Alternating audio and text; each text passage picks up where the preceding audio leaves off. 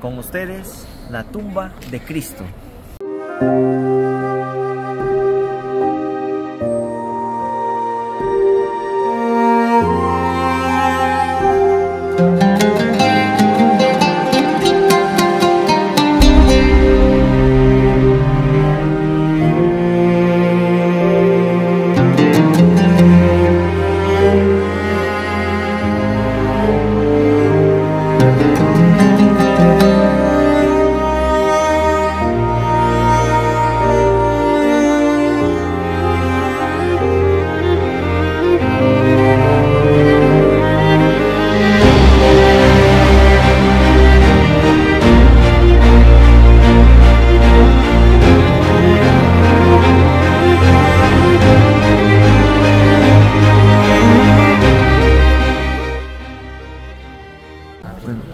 Nos encontramos en el jardín de la tumba, donde, bueno, podemos observar que es aquí donde Cristo fue sepultado.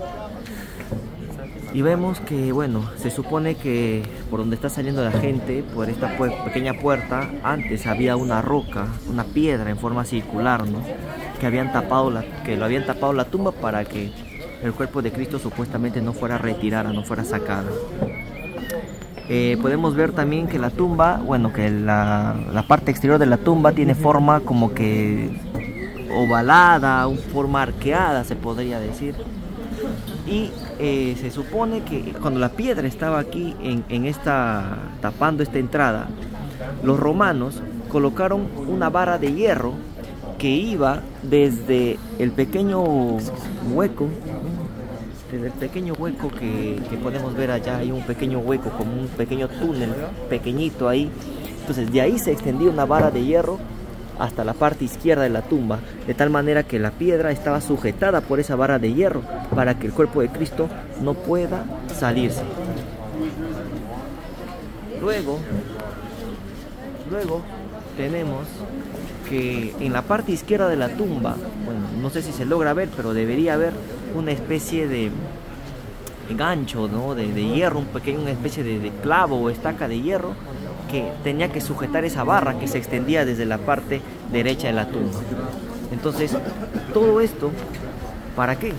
Para que el cuerpo de Cristo no fuera retirado, para que el cuerpo de Cristo no, no fuera supuestamente robado por los discípulos. Eh, ahora que vamos a entrar a la tumba también vamos a ver algunos detalles importantes que menciona también este, Ron Wyatt y bueno, nos vamos.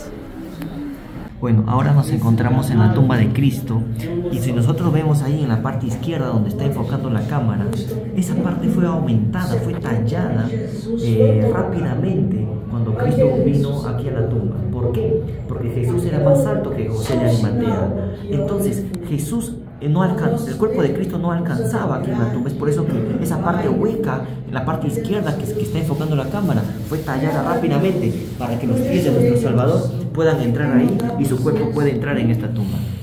Impresionante como todo lo que se dice en la Biblia fue corroborado.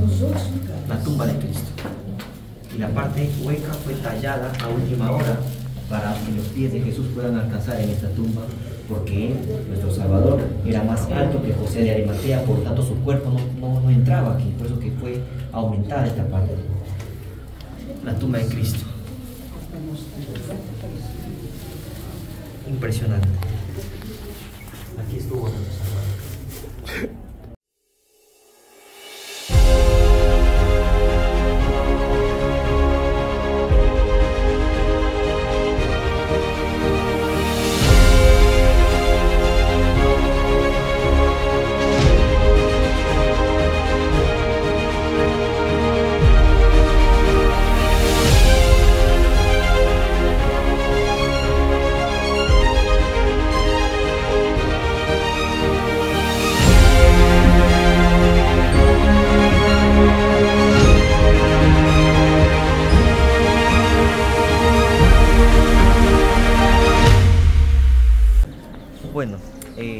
vamos a mostrar, según el relato bíblico nos dice que después de tres días y tres noches, cuando Cristo estuvo en la tumba, tumba, la palabra de Dios nos dice que descendieron dos ángeles del cielo y uno de ellos se paró, se sentó en la parte izquierda de la tumba.